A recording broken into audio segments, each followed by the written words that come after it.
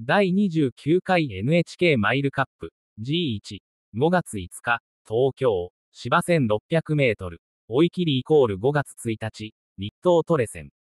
皐月賞で3着だったジャンタルマンタル、オス3歳、立東、高野智和厩舎、父パレスマリスは、ハンドの1本目をゆっくりと走った後、2本目は単走で56秒7から12秒3、女子騎乗をマークした。感覚が詰まっているため余力を残した調教だったが、ラストの伸びはシャープだった。鷹の調教師は、追い切りというよりは、整えるということを主眼に置きました。はつらつと動いていました、と満足そうだった。